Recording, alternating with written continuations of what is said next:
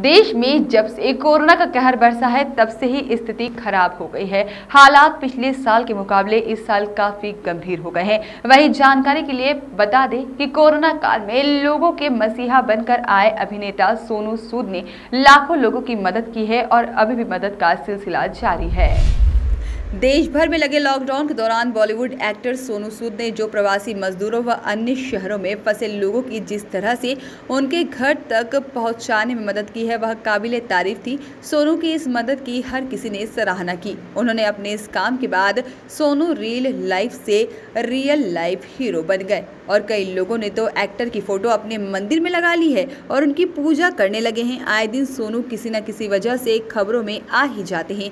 एक बार फिर सोनू अपने वीडियो कॉल की वजह से सुर्खियों में है। ग्वालियर की एक लड़की ने एक वीडियो जारी कर अपने पापा के लिए मदद की गुहार लगाई थी जिसकी सहायता के लिए एक्टर सामने आए हैं। सर। नमस्कार नमस्कार कैसे नमस्कार क्या नाम है बच्चे आपका? Sir Renu Chaturvedi sir. Sorry sir Renu Renu Chaturvedi sir actually sir sir actually हम लोग चतुर्वेदी और शर्मा दोनों लिखते हैं ना तो ऐसा है। रेणु शर्मा आप बोल सकते हैं सर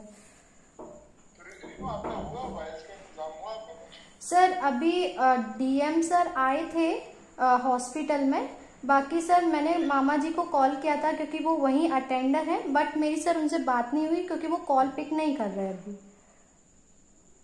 तो अ, ओके डीएम सर ने करके दिए इंतज़ाम कुछ सर अभी एक्चुअली सर अब सर कल उन्होंने sir, as per Sonu sir as per information अभी एक इंजेक्शन एसडीएम साहब ने उनको प्रोवाइड कराया है सिंगल इंजेक्शन हाँ। मैंने ना अभी हैदराबाद में मंगवाया कुछ इंजेक्शन चार पाँच है। तो वहाँ से यहाँ पे इंदौर भेजने पड़ेंगे फ़्लाइट से फिर इंदौर से ग्वालियर आपको भेजने पड़ेंगे। ऐसा कुछ करना पड़ेगा। या फिर कोई फ़्लाइट ग्वालियर तो डायरेक्ट ग्वालियर में है ना? हाँ सर तो यहाँ पे दिल्ली भेज के दिल्ली पास पड़ेगा तो दिल्ली में मंगवाने पड़ेंगे दिल्ली से ग्वालियर पाँच छह घंटे है ना? सर अ, हम मंगाने के लिए सर मंगा लेंगे क्योंकि मेरे मामा जी हैं वो अ, सर हैदराबाद में जॉब करते हैं और मेरे भैया सर इंजेक्शन के लिए तीन बार उधर जा चुके हैं दिल्ली।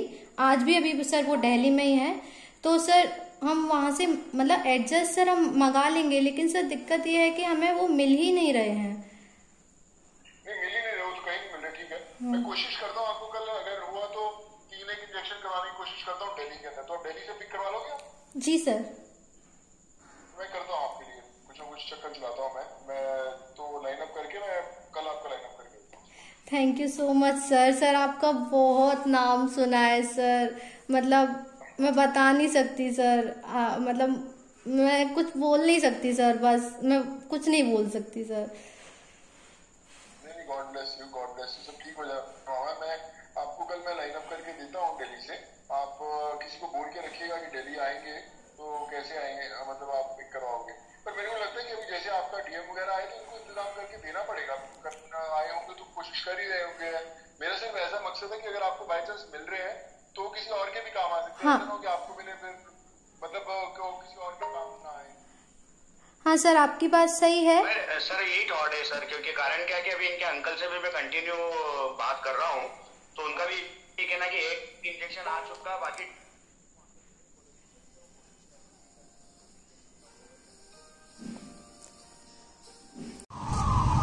मेरा नाम रेनू है और मेरे पापा का नाम राजकुमार शर्मा है। वो इधर अपोलो हॉस्पिटल में एडमिट है। सर, उन्हें एडमिट हुए लगभग आठ से नौ दिन हो चुके हैं और उनकी तीन सर्जरी हो चुकी हैं, जिसमें उनकी एक जो इन्फेक्टेड एरिया था लेफ़्ट आई, उनकी निकाल दी गई और फिर उसके बाद उनका जो ऊपर का जबड़ा था, वो भी निकाल दिया गया, सर।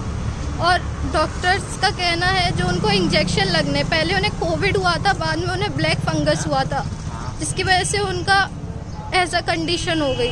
और डॉक्टर्स का कहना है कि जब तक इंजेक्शन नहीं मिलेंगे, तब तक दिक्कत हो जाएगी। और फिर उसके बाद इंजेक्शन अवेलेबल नहीं है, सर हॉस्पिटल में। मैंने बहुत लोगों से बात करी डीएम सर से करी डीआई से करी एसडीएम से करी, लेकिन सर इंजेक्शन मुझे कहीं से नहीं मिले। मैंने लगभग, मैं एक हफ़्ते से लगी हूँ सर, मैंने 800 से 900 नंबर डायल कर लिए, लेकिन मुझे कुछ नहीं मिला sir.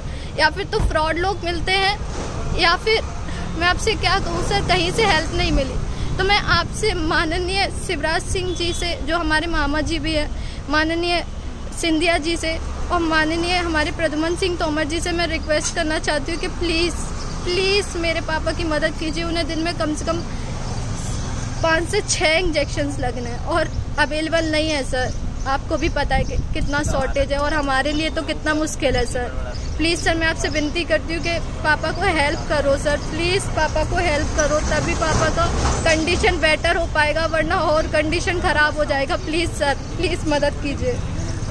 Bureau Report, Voice of Rights.